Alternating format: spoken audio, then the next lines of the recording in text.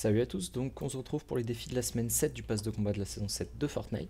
Donc dans cette semaine, euh, je vais vous montrer l'emplacement des 7 avant-postes d'expédition qu'il faut visiter tout simplement.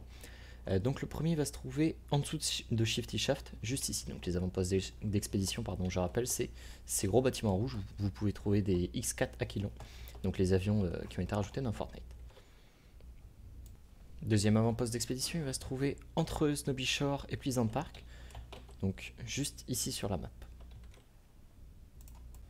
Le troisième avant-poste d'expédition va se situer au-dessus de Pleasant Park, donc tout simplement juste ici sur la carte.